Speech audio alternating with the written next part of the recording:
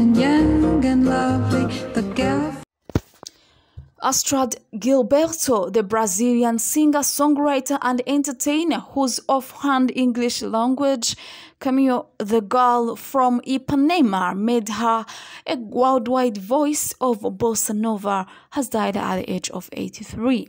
Musician Paul Ricci, a family friend, confirmed that she died Monday. He did not provide additional details.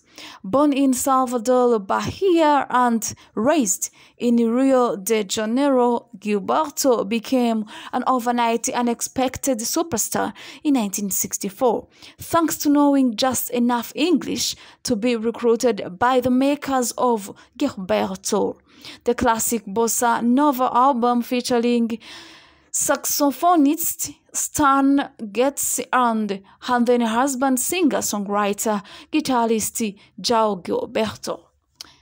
The Girl from Ipanema, the witful ballad written by Antonio Carlos and Vinicius was already a hit in South America, but Gilberto producer Creed Taylor and others thought they could expand the record's appeal by including both Portuguese and English language vocals.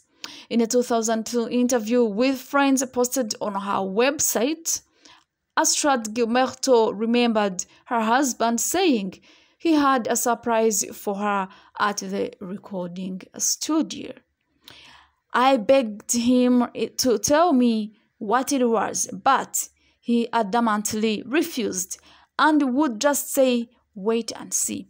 Later on, while rehearsing with Stan, as they were in the midst of going over the song, The Girl from Ipanema, João casually asked me to join in and sing a chorus in English after he had just sung the first chorus in Portuguese. So I did just that.